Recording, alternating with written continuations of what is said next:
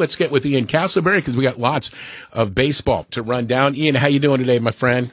I'm doing great. How are you? Good, good, man. For a Monday, not too bad. We got we're, we're getting you know running over a lot of ground because, of course, of Super Bowl Fifty Four, but we got a lot of baseball to get to as well because well, quite frankly, it seems like it never ends. And uh, Ian's update, talking Major League Baseball, presented by Andrea and Greg at VistaNet Telecommunications. All right, Ian, let's get to it. First things first, rumors continue to gain steam involving um, Boston's Mookie Betts being traded to the Dodgers. What? Ian, how serious are the two teams, or is this just that, a rumor?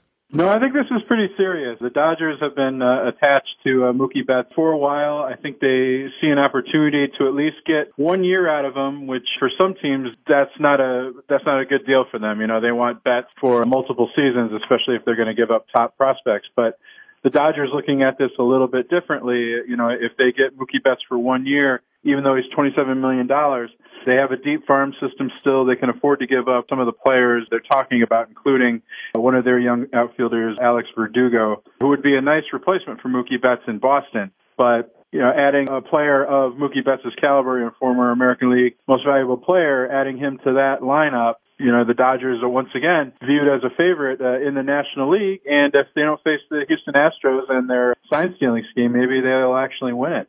You know what's interesting in all of this is that the Red Sox did say that they were going to kind of pull back on you know spending, and yet they we we talked about a little bit of a spending spree just a couple of weeks ago. How much is the finance involved in this potential deal? I think it is certainly a factor. $27 million that would be trimmed off their payroll, but you know, they'll get production out of Mookie Betts. I, I think they're, they're just looking to get something for him in return uh, rather than lose him possibly in free agency for nothing. If the Red Sox had their preference, I think, you know, they would choose to trade David Price and some of the other high priced pitchers that they have as well. Nathan Eovaldi, probably not Chris Sale, but Chris Sale's salary not looking too good right now. So if the Red Sox can trim uh, some of their high priced pitchers, off their payroll. I think they would prefer that to trading Mookie Betts, but Mookie Betts might be their most marketable player, kind of like we're talking about with the Cubs and Kris Bryant. Not a player you want to trade. You don't want to trade your best player, but maybe he's the best trade chip and can get the most in return we'll get a little more into Kris Bryant on Wednesday's uh, segment, Ian. What I find interesting too is when you know the Red Sox, you know, looking to to basically you know trim payroll. That all doesn't always bode well for how the team is going to do. So if Mookie, Mookie Betts is not with the Red Sox in 2020, how good are the Red Sox going to be? Oh gosh, they're certainly not going to be a, a they're going to be a diminished team without Mookie Betts, no question about it he's their best position player. You know, they still do have uh, quality players uh, like Xander Bogaerts, uh, Andrew Benintendi. The, the players they could get in return, you know, if they do get Alex Verdugo, for instance, or uh, p- uh, pitcher Caleb Ferguson has been mentioned, uh, you know, th- that would help uh, make up for whatever they would lose with Mookie Betts. Betts has also been attached to the San Diego Padres in rumors. Wil Myers is supposedly the centerpiece uh, of San Diego's package, $67 million player. He still hits for power, but he does not hit for average. He hit only 239 last year. But they, you know, they could get somebody, a power hitting outfielder, maybe someone like Manuel Margot who would fill in uh, in center field and also get some pitching help. So they, they would still be competitive. But uh, yeah, you wonder, especially uh, with the New York Yankees and the Tampa Bay Rays in that same division, uh, the improvements uh, that the Chicago White Sox have made. They, if they're not a wild card contender, uh, could also be uh, an American League Central contender. So it's difficult to see the Red Sox's path to the postseason uh, if they trade Mookie Betts boy, I don't know how long Red Sox fans are going to handle this and, and put up with this. This this is gonna, this is going to be interesting. They're not a very patient bunch up there no. in Massachusetts for sure, man. Um, speaking of Massachusetts, we're going to uh, get uh, your favorite commercial uh, or two uh, from the uh, from Super Bowl Fifty Four. I think you know where I'm going with that. Um, but Ian, let, us talk about uh, former Asheville tourist Trevor Story. He will remain a Rocky for how long and for how much? Uh, Trevor Story, yeah, he signed a two-year, uh, twenty-seven point five million dollar deal uh, with with The Rock. Two years, twenty-seven million dollars. Uh, that's uh, Mookie Betts money right there, uh, but only one year for Betts. Basically, this deal buys out the final two years of uh, Trevor Story's arbitration eligibility. So It's guaranteed money for Story. He and the Rockies don't have to go to arbitration and fight over a salary. Those hearings can get contentious. And, and for the Rockies, even though they are paying, uh, they they will be paying, you know, 18 million dollars for Story in 2021. That is cost control. If, if they went to arbitration, you know, they don't necessarily have control over how much his salary would go up in 2020, uh, in 2021. So at least now they know how much exactly uh, they're going to be paying Trevor Story.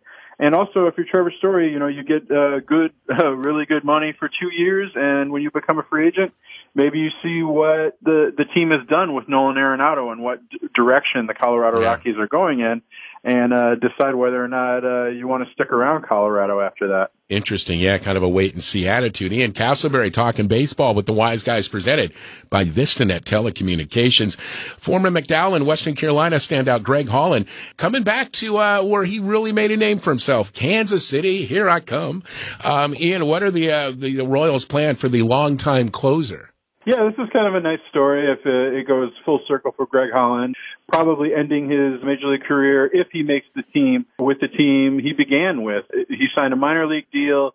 Uh, if he makes the team out of spring training, uh, he'll get a, a $1.25 million contract uh, in addition to uh, performance bonuses that he can meet throughout the season. So uh, I, I don't know if he'll, you know, he, he could probably be a, a setup man, a, a middle reliever if he makes the team uh, Holland obviously not the pitcher uh, that that he once was uh, after injuries uh, and surgery, but still, even though he had a 4.54 ERA last year for the Arizona Diamondbacks, he still has strikeout stuff. 41 strikeouts uh, in 36 innings. So he's someone who can still come in out of the bullpen and strike guys out when needed. Uh, Ian, before we uh, let you go, a couple more things still to get to. The Grandy man, Curtis Granderson, announced his retirement over the weekend. And, you know, Ian, uh, he, he, played for a number of teams in his 16 uh, year career, mostly with your Tigers, but also stints with the Mets and the Yankees. Um, but the Tigers is really where it all began. What are your memories of Granderson during the Tiger years? Uh, yeah, I was I was hoping we could have the whole five o'clock hour to talk about Curtis Granderson, but uh, no, he's. Uh, I mean, I personally I really like Curtis Granderson. He's one of the first major league players I ever interviewed. Really took time, uh, uh, you know, to, to answer my questions and share his thoughts on the game. Uh, not coincidentally, you know, he was also uh, new to the major league, so we were kind of both learning the ropes uh, to some extent. Granderson, I mean, he was an exciting player that the Tigers hadn't had in so many years. Uh, his 2007 season, you know, he hit 302, 23 triples in that huge ballpark uh, in Comerica Park. Outstanding center fielder uh, defensively. It broke a lot of players' hearts when the Tigers traded him to the Yankees in 2010. But you know, hit, hitting uh, a left-handed power hitter uh, in Yankee Stadium. You know, he had two 40 homer seasons. But what I'll remember most about Curtis Granderson, uh, not just an outstanding player, but he started his grandkids foundation there uh, to help uh, underprivileged children. Uh, he was an ambassador for Major League Baseball, you know, uh, conducting clinics in foreign countries. Really, uh, th- this is the kind of uh, player uh, baseball wants. You know, he should be the face of the game. He had an outstanding career. I think, yeah, it, he hit 183 last year for the Marlins, so it's time for him to hang it up. I would have loved to see him end his career one more year with the Tigers, like Greg Holland is doing with the Royals. But yeah, Curtis Granderson, uh, six years uh, with the Tigers, and one of their uh, the best players they've had in recent years uh, Ian Casselberry with the Wise Guys. We're talking baseball and now Super Bowl commercials presented by VistaNet uh, Telecommunications. Uh, by the way, Ian, I believe uh, first off, folks can find you. Check out the podcast. What you can go to to um, to iTunes and other platforms to get that, Ian. Yep, uh, Apple Podcasts, Spotify, uh, basically anywhere uh, you get your podcast, you can find my podcast. Sometimes extensions of what we're talking about here on the radio with sports, pop culture, uh, personal stories. Uh, it's a lot of fun. Hoping to work in some more interviews in the year to come. Hey, excellent. And also check Ian out, awfulannouncing.com and follow them on Facebook as well. And Ian, I understand you uh, kind of put together, uh, wrote a, a story on on all of the different uh, Super Bowl 54 commercials. Which one or which one stood out to you? My favorite of the the Super Bowl ads this year was uh, the Rocket Mortgage ad with Jason Momoa. Yeah. Uh, I thought that ad was absolutely hilarious. It was just a shocker.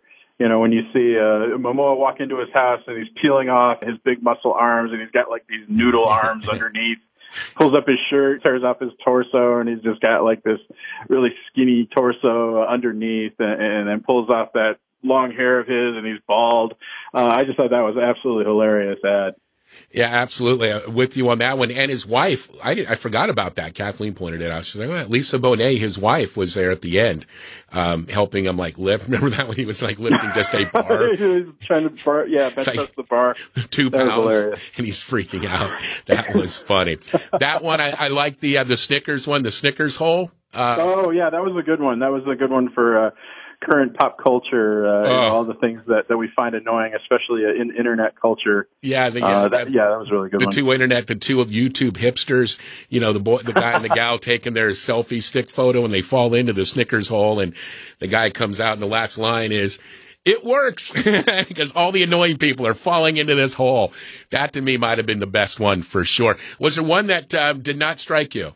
Uh, well, I was also going to say I really like the Bill Murray uh, Jeep ad. Yeah the Mountain Dew ad with Bryan Cranston, uh, w- which kind of emulated The Shining. yeah. It was a really well done ad, uh, especially if you're a fan of that movie. But scaring the hell out of people to try and get them to to uh, you know buy your soft drink, I think is a very strange way to go for. Uh, for a soft drink company. Yeah, no kidding. Although Cranston did an outstanding Jack Nicholson. Uh, we, we, we, we will tell you that right now. That's outstanding. Ian, you're the best. Again, uh, you can follow Ian, uh, by going to awfulannouncing.com and, uh, also to like them on Facebook. This is a really talented writer and Ian, always appreciate it, man. We got more baseball headlines coming up on Wednesday. I appreciate that, Pat. And yeah, looking forward to Wednesday. Thank you. You got it, my man. Appreciate it. Ian Casselberry uh, with the Wise Guys. Ian's appearance talking Major League Baseball presented uh, by our friends Andrea and Greg at VistaNet Telecommunications.